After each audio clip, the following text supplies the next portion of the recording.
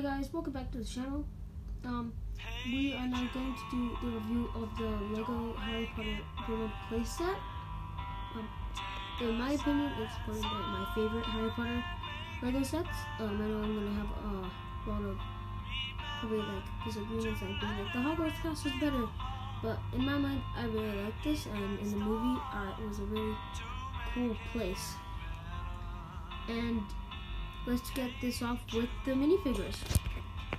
First off, we have speak. There are so many minifigures you can got, uh, you got Fred Weasley, George Weasley, Ronald Weasley, Mrs. Weasley. You get Tonks, Shacklebolt, and then a very grumpy Crookshanks. Then you get Sirius, Harry, and Kreacher. Um, we're just gonna look at some of them, the ones that I think are like the best ones for this set. So let's get to it. First off, we have Kreacher, and I honestly think it's a really good representation of him. The ragged clothes of the house elf. Um, they did his head really, really well, like with the floppy down ears. And overall, I just think his facial expression is something that you would actually find in the movies. Second is Tonks. She her cloak design is very nice. She does have red hair, but I misplaced it somewhere. I'll most likely find it some other day. But she's also a two-faced character. So if you flip her around, um, I, I can't really take the head off because it's very stiff. Uh, she has like a pig face because like she her like she can change into animals and I really like that because that brings like the movie vibe into it because I'm pretty sure she turned into like a duck or a pig in the fifth book. Okay, that's it for minifigures. Let's go on to the actual build. Okay, here we are with the actual build. It was quite an easy build to make, just a bit repetitive with the like the bricks and everything. But I have to say they did master the opening of the Grimmauld place and the closing. Let's start with the exterior. Um, I would I think that you would actually find this in like a British neighborhood. I just like think the architecture is up to like up to like that time where they were filming and like the rails are look nice overall really good design. And then in the Grimmauld place, they got the basically the exact same, just dark. And I really like how they made it look like in the movie, like they're completely different houses, even though the exterior looks almost the exact same, except for some slight changes. And the interior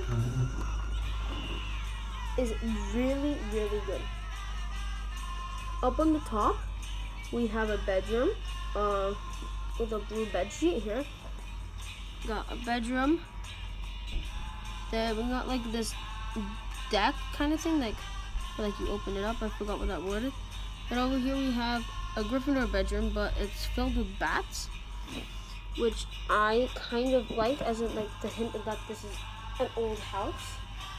Then we have the family tree right here really good. Uh, the stickers actually really easy to put on, got really good uh, quality and everything. Then we have the piano, which I don't really why they put it in here. I don't remember there being a scene with the piano, but it's a nice touch. And then over on this room, we got this little couch, which very good design for the couch. And then down here, we got like where like they I put all their wands, and it's like like a landing, like a mudroom. In the kitchen is quite nice. You can move the the the kitchen, like the cabinets around to the other side if you want. Got some mugs, glasses, and that's where they enter. Then you just got a shed, kind of like a closet. That's where I put all the brooms, and it's really really nice. Um, yeah, and as I say, the opening and closing is like really good. There are lots of details, which I like. Just a really good set. This is how I would have set it up, but obviously you can do it whatever way. As I, I forgot to mention that it comes with this earpiece that you can that was used in the fifth to like hear what they are saying in the meeting. And I got Molly, Tonks, and Shacklebolt in the kitchen with Crookshanks on the chair looking very grumpy, Sirius in the portrait room. And then we got Harry and Ron just on like that landing area. And then we have Fred in the in the piano room. And then we have George up top with the ear thing. And it actually closes, you can close it with the minifigures in it. And it's actually, as I said before, it's a really good set. I'd give it like solid 9.5 out of 10. See you guys next time.